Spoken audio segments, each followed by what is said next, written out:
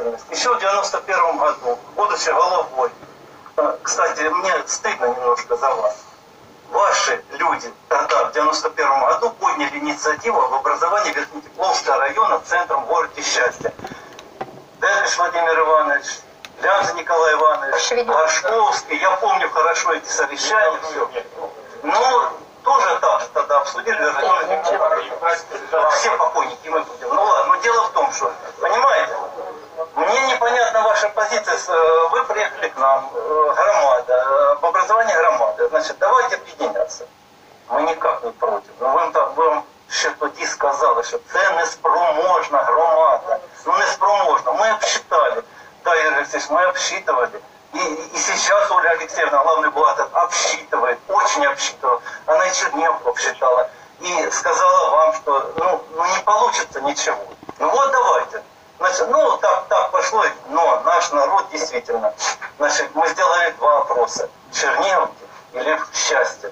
Потом делали еще вопрос. В счастье. Надо, сделаем этот вопрос. Теплый, если, если надо Теплое однозначно. О чем вы говорите? Теплые вообще люди кричат. Что, что это придумали? Ну, нам нужен аппендицит. Я по поводу финансов. Значит, э, следующее, следующее.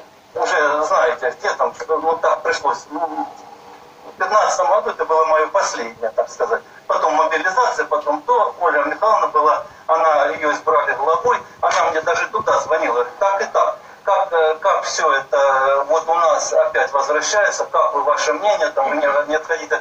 Ну как, ну как люди? Это был 15 год, сентябрь месяц. Вы мне в телефонном разговоре. Говорит, мы проводим сейчас сессии, проводим там то, другое, и мы решаем вопрос о, о том, чтобы к счастью. Нас всех убедили, нас всем, да, мне, мне лично тоже давали ответ. Я делал уже в 16 году, вернувшись, я не ушел от этой жизни, потому что я начинал, я должен людям дать ответ. Так, значит, нам постоянно давали ответ. Не переживайте, не переживайте, вы в плане, в плане, в плане. Теперь об экономическом обосновании я вам рассказываю. Значит, 14-12 год. Реконструкция строительства дороги за счет местного. 156 тысяч. 14 год. Полмиллиона 500 тысяч. Реконструкция и э, автономное отопление детского садика на 93 места в Красном Октябре. За счет своего бюджета полмиллиона. При, при этом заработная плата, премии, все как положено получали. Это, это премия. Теперь 20, 20 год, 150 тысяч на ремонт клуба, 19 150 тысяч на ремонт клуба, 240 тысяч на школу, 400 тысяч, я, ну, я просто немножко это. Дальше, полмиллиона на установку уличного освещения, которое мы заканчиваем. Миллион, миллион уже добавили. В этом году уже до миллиона добавили. Какое вам еще экономическое обоснование? Но мы никого к себе не просим, потому что мы реально понимаем, если мы соберем малые все села, мы не выживем даже при этих доходах. Мы, не, мы, мы будем реально не, ну, неспроможны. А мы, наоборот, с нашими доходами и с нашими показателями просимся в частную громаду. Что, что тут непонятно. Люди о школе. Нас сейчас пытаются. Вот школу, закроют школу. Люди готовы к этому. Коллектив готов. Люди, люди все понимают. Школу Не закроют. Не закроют. За... Старший класс. Не, ну Нет, это- Вера Павловна, Вера Павловна. Есть закон об образовании, есть там все. Ну, в ближайшие, в ближайшие 2-3 года, скажем, школу не закроют. Но мы людей подготовили в перспективе, что школы все равно будут закрываться. Люди это все понимают, да, ну, для того, чтобы это не закрыли, мы должны лучше работать. Рабочие места на воле. Почему-то наши предприятия, сельхозпредприятия, э, арендуют, платят э, 8%. Я уточнил этот вопрос. А по, по другим, по другим, другие сельхозпредприятия до 5% платят налогов. Вот я однажды руководителю сказал, земляку вашему, Александру Тимофеевичу, не надо мне, будучи головой сельрада, не надо мне тут помощь оказывать на сайте. Платите вот налоги не 3%, а 5%. По рукам, по рукам. Все договорились. И мы теперь, и мы когда начали, и, и такой же способ, такой же способ фермеров мы убедили. У нас, у нас по максимальной платят налоги. Фермер 10%, они меня душили. Факт. Они, они Факт. что, что вы? Отремонтирован и на балансе... э, Это вы не точно говорите. Ну, это вы за свой совет. Я не буду вам доказывать. Да. И поэтому мы, мы просимся, и тем более, это воля народа. Ну, ну как, я не знаю, мы же не просим, давайте нас возьмите, мы там, мы не погибнем. Мы будем. Мы, мы просчитали так немножко все это. Нам надо говорят, что вы будете кормить счастье, там будете эту трехизбинку, евку. Ну, будем, значит, будем. Есть такие законы, есть распределение доходов как-то. Кому-то их кормить надо. Ну да. Ну давайте так, Вот- по государственному. Поэтому Кто их будет кормить? Государственному. Это не мне. Трехизбинку, Юрий Алексеевич, кто будет кормить? Сначала ПДФО начнет платить. Да ну Очень правильно. платить? А Потом а мы... вы- Подождите. Вы нас пугаете. Нет, не трогай его. Вы нас пугаете. Закрыть там все. Вот, все, закрывается. Я не могу ничего. Не вы, не вы, не вы. Тест закроется, все, конец жизни. Ну, тест не закроется, другое закроется, другое откроется, инфраструктура, магазины, все. У нас все лет уже было 7 магазинов, но 5 осталось. Дальше не было рынка, рынок развивается. Ну хорошо. Ну,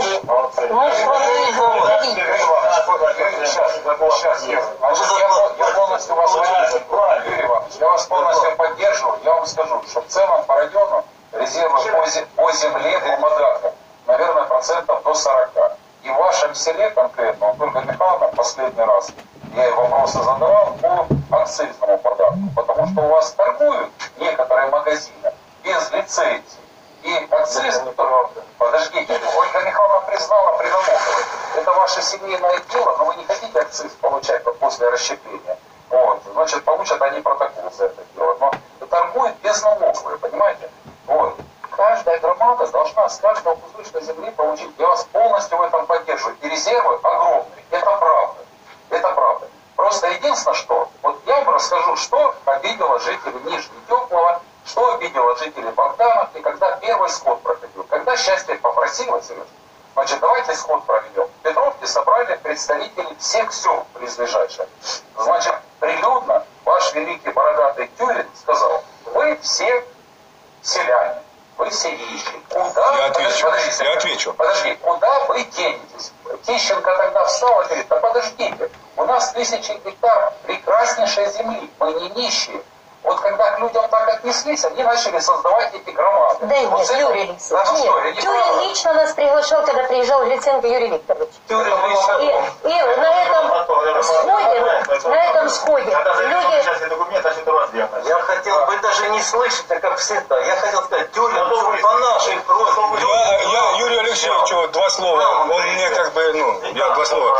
Э, Я отвечу, ну, смотрите. Э, Тюрин никогда не был избранным э, лицом в городе Счастья.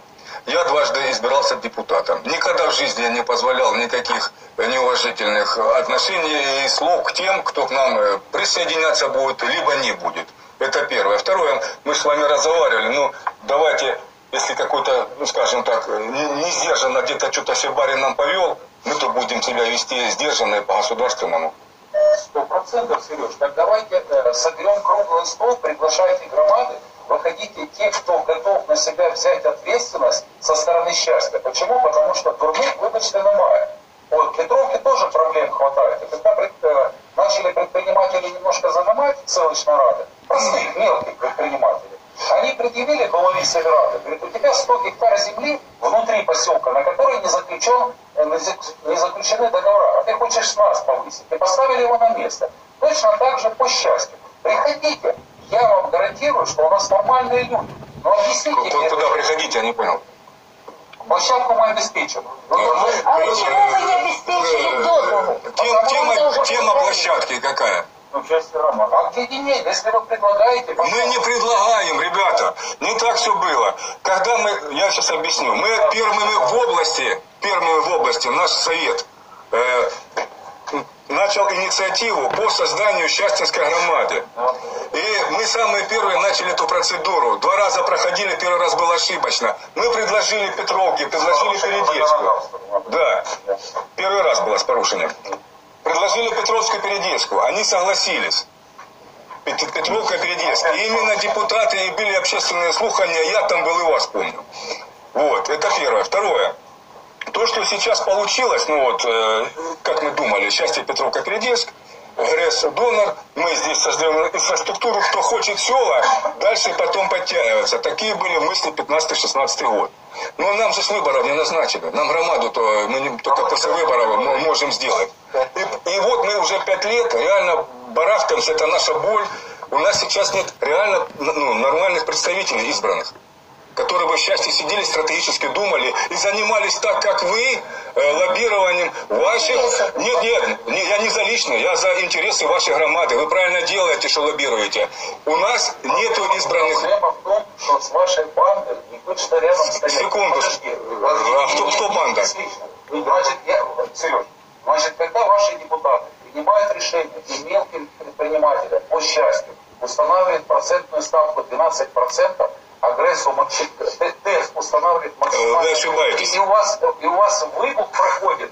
э, Какой ваш, выпуск? ваш горсовет пинает предпринимателей этих мелких и говорит, Юрий Алексеевич, э, я, у вас неправильная информация. значит, когда ваш У нас 5 в среднем для предпринимателей, торговцев в среднем 5 когда- процентов была ставка. Ваш, ваш. Ну, ну, да давайте так, сейчас мы ну, уходим, давайте как-то, наверное, приходить к консенсусу. Виктор Александрович, что вы хотите сказать? Подождите, секунды. Дальше я хочу сказать, что я, как глава районной рады, у меня 10 конфликт интересов, я для информации. Не, у вас нет конфликта интересов, вы же не лично Я буду уговаривать куда, значит, часть районной, с 15 года мы начали лично, я подписывал э, десятки писем, значит, э, в кабинет Верховной Рады, Центр регионального розвитка, где просили составить питомник. На основании писем это Везде мы получали ответ. Ваши зауважения будут врахованы. Ваши зауважения будут врахованы. На основании этого мы все это дело дальше направляли на, на места. Что так и так, ваши все зауважения будут врахованы. Це протестує. Зараз ніхто не дает права, а, значит, Сокин сам, вы знаете, что закон поменялся.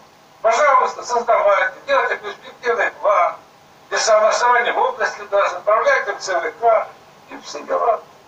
Будем делать. А за- зачем э, так далеко, если вот у нас есть область, люди сидят, знают на местах проблемы. Ведь э, я же еще раз повторюсь, мы же тоже не в восторге, что нам э, прицепили э, трехизбинку и все, ну, вы поняли, да? Мотивация какая? Мотивация, чтобы им-то что-то было жить. Вот почему прицепили. Ну правильно я говорю? Мотивация у вас такая, Ну, чем да? больше громад, Ну, я, я так, тем я говорю, Понимаете? как думаю. Слабый к слабому не должен присоединяться. И- и как- Ну, конечно, вот, вот эти слова ваши вот прицепили, ну я вас прошу. ну, оговорился, присоединили.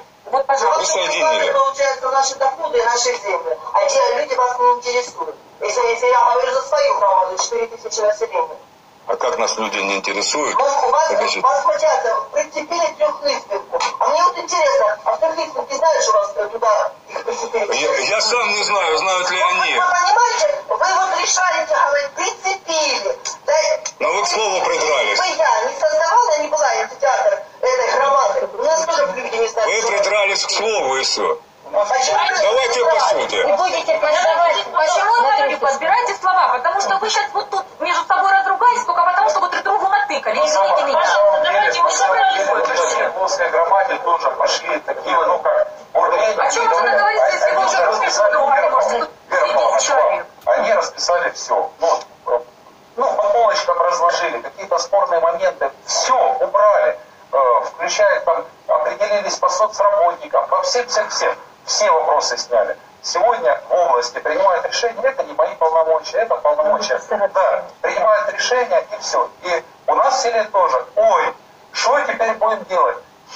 Значит, э, стратегию нужно перерабатывать.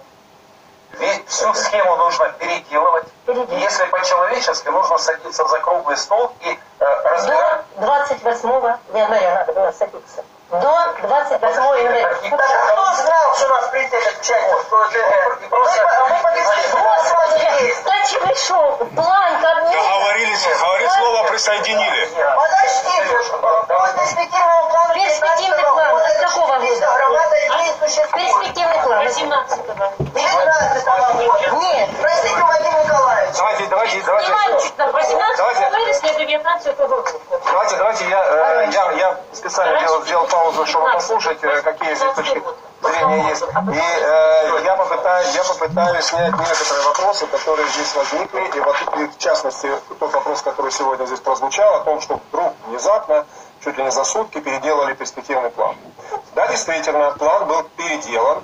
И переделан по решению рабочей группы, которая на себя взяла, вот э, вырабатывая эту конфигурацию, на себя взяла, учесть, постараться учесть максимально интересы всех громад.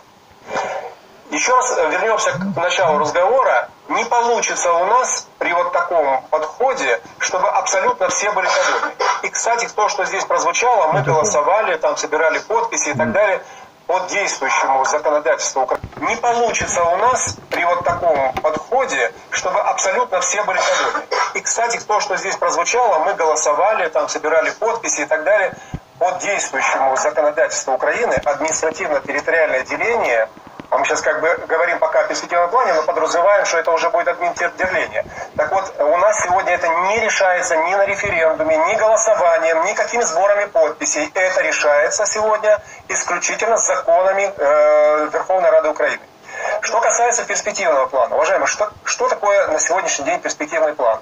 Я говорю так, как есть по закону. Я не говорю о том, что будет, когда примут закон об админтерустройстве. Перспективный план – это видение, государственного органа, который на это уполномочен, областной администрации, на то, э, каким образом будет максимально э, рационально построены громады, если они будут объединяться в соответствии с этим перспективным планом. Но на сегодняшний день, согласно закону про добровольное объединение, вы можете объединяться не по перспективному плану. И так у нас было, начиная с 2014 года.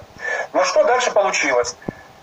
И тут, в общем-то, надо, наверное, тоже провести параллель. Многие сегодня приходят к э, мнению, что все-таки добровольность при всей ее привлекательности, при том, что мы дали свободу, так сказать, демократическому волеизъявлению людей, как им дальше формировать свои, значит, громады, Оказалось, что э, на вот такое объединение влияли негативно очень многие такие факторы. И бизнес аграрный, э, мы ж, давайте прямо говорить, что э, фермер, который на этих землях не заинтересован, чтобы у него была карманная громада, и мы это видим сегодня по Привольской громаде, какой конфликт возник. Э, там фермер сообразил вовремя и говорит, надо давать сделать громаду, потому что мое производство на территории этой громады.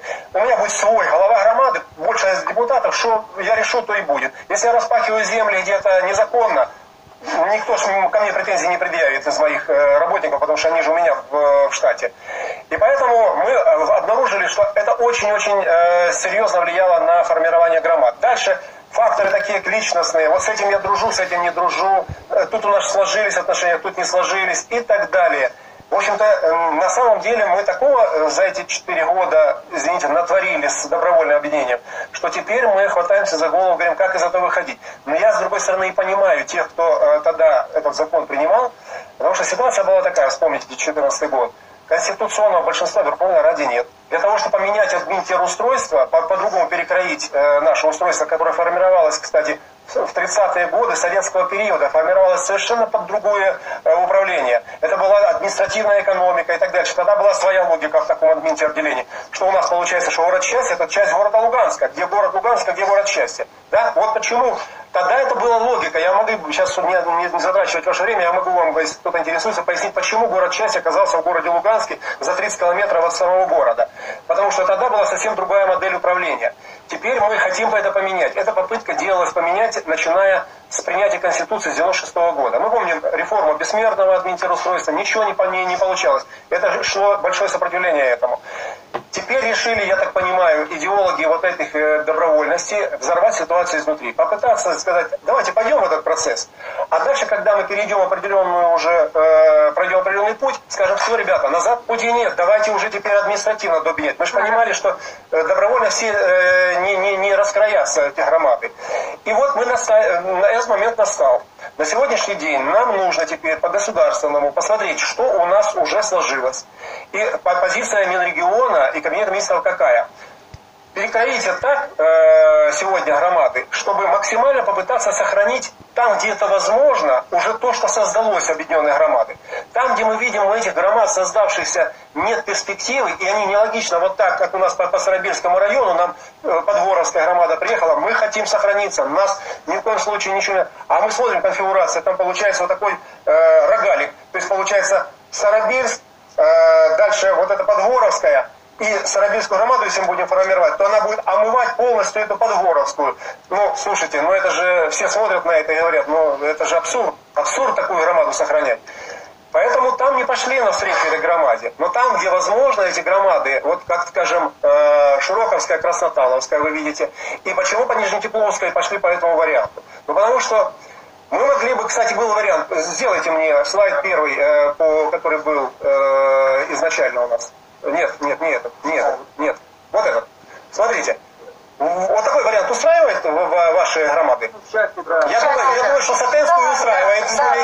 А вот спросите, Нижнетепловскую и Великочеревскую, которые прошли путь объединения, уже, э, так сказать, старались э, по закону создать свои громады, их это устраивает? Ну, вот, слышите, вот не устраивает. Теперь, теперь смотрите, нам, наша задача получается, на, на, наша задача была рабочей группы потому что настоящая это вода тоже велико. Если да, помощь да. за 15 минут, я сколько. Дальше, продолжаем. Как раз я его сейчас... Петровская больница да, Вы превосхитили мои, мои, мои аргументы. Смотрите, а. вот этот вариант, э, мы, мы его рассматривали и хотели бы тоже, чтобы этот вариант был поддержан. Но почему этот вариант... Э, Почему этот вариант рабочая, рабочая группа не поддержала? Потому что первое, мы ломаем, полностью уничтожаем две уже создавшиеся громады. Соответственно, еще не громада объединенная. Вот тут две громады мы, по сути... Владимир Николаевич, а, обратите на это внимание, почему мы уничтожааем? Потому что все, они вливаются в Счастьинскую громаду, у них уже никаких э, самостоятельности нет. Они будут там старостаты. Там будут только старостаты.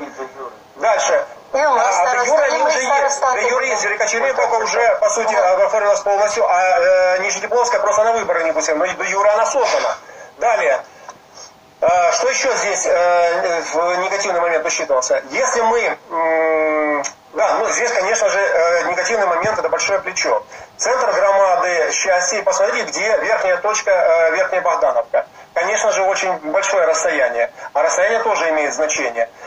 Э, мы могли бы где-то какие-то объекты, скажем, ну, там, скорая, э, потом э, центр безопасности где-то посередине расположить. Но все равно, посмотрите, если мы расположим, предположим, в, ну, давайте в Сатенном, пожарка едет, значит, получается, через счастье, и ей нужно добраться в Трехизбинку. Посмотрите, какая сложная конфигурация. Далее, в Теперь почему, э, вернемся на слайд, который э, мы, э, вот рабочая группа все-таки избрала именно этот, эту конфигурацию. Первое, если мы, да, давайте следующий слайд, где вырезано все центрально. Вот, это то, что вы сейчас хотите. Но смотрите, что мы тогда в таком случае имеем. В этом варианте мы ослабляем громаду Нижнетепловскую в составе Великочерниловской, э, Э, значит, э, далее у нас сложная конфигурация и уменьшается население, а мы говорим, вообще-то громада более или менее, хотя бы на нижнем уровне, это не меньше 5000. Здесь мы сразу падаем ниже 5000. Далее, э, у нас проблема возникает с территорией, уменьшается территория, а по, по, по методике территория должна быть все-таки тоже критериев. Это не, не абсолютный какой, критерий. Какой вариант этого называть? Как вы для себя его называете? Вот этот? Да. Это один из вариантов, который обсуждался на рабочей группе. Мы, мы когда на рабочую группу собирались, я уже знал, мне позвонила Владимир Михайловна, говорит, э, мы не хотим, мы хотим только счастья. Я говорю, окей, и вот тут многие, которые говорят, что это Лазников там перекроил. Ни в коем случае. Я только рисую, если так разобраться. Я член рабочей группы. Я имею просто один голос в этой рабочей группе. Я им сказал членам рабочей группы, уважаемые члены рабочей группы, смотрите, Сатена не хочет э, идти в, э, на Нижнедепловскую, оно хочет Счастьевскую. И в таком варианте мы видим вот такую громаду. Если поддержите, ну она не очень, потому что уменьшается площадь, уменьшается население, а соответственно и падает спроможность громады ухудшается инфраструктура громады и так далее, то в этом случае, э, если вы такой вариант будете настаивать, что ж, губернатор готов тогда в таком случае рассмотреть это предложение, и именно он, схваливая э, перспективный план, и дальше мы его подаем на кабинет министров. Рабочая группа отвергла эту конфигурацию. Она сказала, нет, давайте возвращаться, не будем вот эти все бублики там и э, коржик эти э, делать э, рогалики. Поэтому если... э, Николаевич, да. ну, а, извините, ради бога, а где здесь рогалик? Гляньте, как хорошо. Да, хорошо. Николаевич, гляньте, как Видишь, хорошо. хорошо. Владимир Николаевич, Вы, посмотрите. вы делаете, вы- у вас связка между Нижнетепловской и э, Великочерниковской, только маленький вот тот участочек. А, э, Ищенко ну, я же говорю, вопрос же не только в красивости, вопрос в площади. Вы посмотрите, насколько мы уменьшаем площадь громады, которую мы оставляем. Мы уменьшаем площадь ее. В- Владимир Николаевич, Владимир Николаевич, дороги. Владимир Николаевич, уважаемый, это, ну, как, ну, это, это, это, э, вы, э, Наталья Анатольевна, э, я, можно, что я перебила? На одну секунду, нет, про- продолжите. Хорошо, продолжаем. Продолжаем. Это, это все, то, что вы говорите, дорога и прочее, об этом всем на рабочей группе речь шла. И все это рассматривали. Поймите, и рабочая группа, кстати, это не тот орган, который принимает окончательное решение. Это создал губернатор, консультативный орган по рекомендации Министерства регионального развития. Он говорит, мы видим, э, министерство говорит, мы видим, что есть масса интересов, есть масса разногласий. Попробуйте путем э, вот, э, обсуждения на такой группе, в которую входят специалисты, э, эксперты и в области образования, и безопасности, и э, в ту же, в ту, в ту же группу мы включили всех народных депутатов, мажоритарщиков, и даже не только мажоритарщиков, и- а и списочников. В нее входил и Дунаев, который э, не, не по спискам шел ОПСЖ, и э, Ткаченко. Все вот эти э, люди, они рассматривали эти варианты. И скажите, я понимаю, что сколько людей, столько мнений, но все-таки когда-то нужно принимать решение, кто-то же берет на себя эту ответственность. Так вот, э, губернатор сказал, что я выслушаю предложения рабочей группы, если они действительно разумны, если они вписываются в ту концепцию, которую нам предлагает Кабинет министров Украины, а Кабинет министров Украины нам предлагает вообще делать более крупные громады. И я вам скажу, что еще один вариант, который мы не рассматривали, потому что знали, что уже есть серьезное противодействие ему, еще один вариант, пожалуйста, сделать станично-луганскую э, громаду, полностью, включая и э, до счастья. То есть полностью объединить Широковскую, Нижнетепловскую, Светенскую и прочее до, до самой счастья. Вас, вас что, больше такой вариант устроит? Центр, естественно, в счастье, потому что это районный центр. Ну, фу, нет, я извиняюсь, не в счастье, в станице. Нет, В станице. нет, нет, нет. Так правильно нет. А я вам говорю, что фактически идеология этого сделать громады вокруг районных центров. Почему? Объясняю. Потому что районный центр, районный центр, это город или это поселок городского типа, это всегда наиболее развитая э, э, административная единица. Почему она развита? Потому что по тому админитет делению, которое сформировалось еще в советский период, районы подразумеваются районные центры. Это сосредоточение инфраструктуры, которая будет служить всем э, селам, э, поселкам, которые вокруг проходят в район. Почему у нас в станице Луганской есть целый ряд объектов, детская музыкальная школа, школа ДСШ, и у вас их нет, и э, пока нет. Если это объединенная громада, то, наверное, теперь уже надо, что будет. Э, по- потому что э, а- акцент был сделан на то, что район, значит, вокруг района должны в районе сосредоточены эти объекты, и, а это так называемые объекты спильной властности территориальных громад, и они служат всем громадам. Но коль мы теперь в ходе реформы вынуждены перекраивать районы, а у нас еще на эту ситуацию, на нашу наложилась линия разграничения, как вы видите. И если, кстати, все-таки вернется под контроль та территория, то тогда нам придется снова, ну, по всей Украине это не нужно будет делать, а нам здесь придется перекраивать. И это тогда вот ваши все э, сомнения по поводу того, что нам не нравится, возможно, сразу отпадут, потому что, может быть, так получится, что мы громаду делаем вокруг, например, города Счастья, в радиусе полностью и Нижнепловская туда войдет и так дальше. Но это такое дело, это как, как жизнь покажет, как оно будет складываться. Но на сегодняшний день у нас очень сложная задача. В связи с такой сложной конфигурацией, как видите, вот э, город Счастье, близко к э, линии разграничения Нижнедепловская, мы искали самые такие, ну, оптимальные компромиссные варианты. И поэтому рабочая группа избрала вот этот вариант, все-таки сохранив и две громады, которые уже прошли путь объединения, Нижнетепловская и Ну пусть Великочерниковская. они существуют. Ну пусть Правильно, они но вы же должны согласиться, что не только ваши интересы нужно учитывать, а нужно учитывать и интересы других громад. И в том числе и с точки зрения- государства нужно это рассуждать.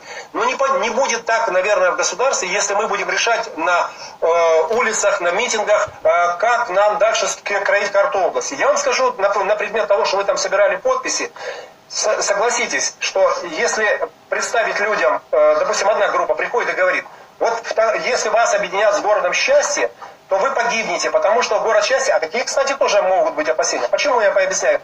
Сравните численность города счастья и численность Сатенного. Где больше э, депутатов представительства будет?